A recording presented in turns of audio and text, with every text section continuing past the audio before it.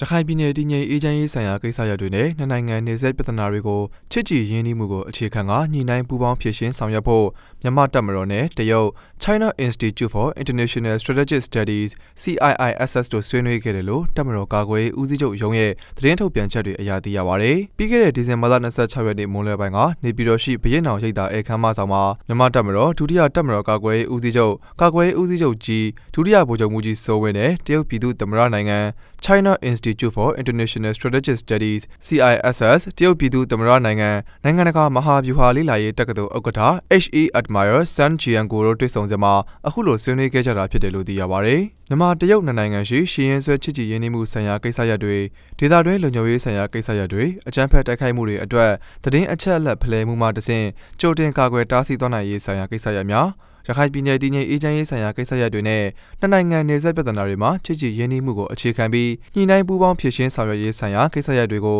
အပြန်အလှန်ဆွေးနွေးခဲ့ကြတယ်လို့သိရပါဗျ။အဲ့ဒီတွေ့ဆုံဆွေးနွေးပွဲကိုတော့မြန်မာတပ်မတော်ဒုတိယတပ်မတော်ကာကွယ်ရေးဦးစီးချုပ်ကာကွယ်ရေးဦးစီးချုပ်ကြီးနဲ့အတူညှိနှိုင်းကိုကဲရေးမှုကြီးရေလေဗိုလ်ချုပ်ကြီးမြထွန်းဦး ကာကွယ်ရေးဦးစီးချုပ်ရုံးမှတပ်မတော်အရာရှိကြီးတွေတက်ရောက်ကြပြီး China Institute for International Strategic Studies CISS တရုတ်ပြည်သူ့သမ္မတနိုင်ငံနိုင်ငံတကာမဟာဗျူဟာလေ့လာရေးတက္ကသိုလ်ဥက္ကဋ္ဌနဲ့အတူ CISS ဒုတိယဥက္ကဋ္ဌ Mr. Lu Xiaobai နဲ့တာဝန်ရှိသူတွေတက်ရောက်ကြရလို့သိရပါတယ်။ တွေ့ဆုံပွဲအပြီးမှာဒုတိယတပ်မတော်ကာကွယ်ရေးဦးစီးချုပ်ကာကွယ်ရေးဦးစီးချုပ်ကြီးနဲ့ China Institute for International Strategic Studies CISS ဥက္ကဋ္ဌတို့ဟာလက်ဆောင်ပစ္စည်းတွေအပြန်အလှန်ပေးအပ်ကြပြီးအမတ်တရစုပေါင်းဓာတ်ပုံရိုက်ခဲ့ကြကြောင်းသတင်းရရှိပါရသည်